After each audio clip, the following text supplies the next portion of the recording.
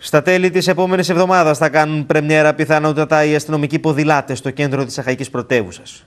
Επτά αστυνομικοί από διάφορες υπηρεσίες της Αστυνομικής Διεύθυνσης Αχαία θα στελεχώσουν το πρόγραμμα που ήδη έχει εφαρμοστεί με θετικά αποτελέσματα και σε άλλες περιοχές της χώρας. Τα ποδήλατα και ο υπόλοιπος εξοπλισμός βρίσκονται ήδη στα γραφεία της Αστυνομικής Διεύθυνσης στην οδό Ερμού και αυτό που απομένει είναι η υλοποίηση ολιγοήμερων σεμιναρίων στους αστυνομικούς, οι οποίοι στη συνέχεια θα διατίθενται καθημερινά σε περιπολίες. Οι αστυνομικοί ποδηλάτες θα περιπολούν σε διάφορα σημεία της Πάτρας, όπως το εμπορικό κέντρο, το παραλιακό μέτωπο και σε άλλα σημεία της πόλης. Για την εκτέλεση της υπηρεσίας τους θα διαθέτουν ειδικού τύπου στολή ποδηλάτη, ενώ θα είναι εφοδιασμένοι με όλα τα απαιτούμενα είδη. Ατομικό οπλισμό, αλεξίσφαιρο γυλαίκο, φορητό ασύρματο και όλα τα συναφή. Στο πλαίσιο αυτό, οι περιπολίες με τα ποδήλατα εντάσσονται στο γενικότερο επιχειρησιακό σχεδιασμό της Γενικής Περιφερειακής Αστυνομικής Διεύθυνσης Δυτικής Ελλάδος και στην εφαρμογή ολοκληρωμένων προγραμμάτων αστυνόμευσης της Πάτρας, όπως το πρόγραμμα Περσέας, αποτελώντας εναλλακτική μορφή αστυνομικής δράσης για την προστασία και την εξυπηρέτηση των πολιτών, όπως και σε πανελλαδική κλίμακα.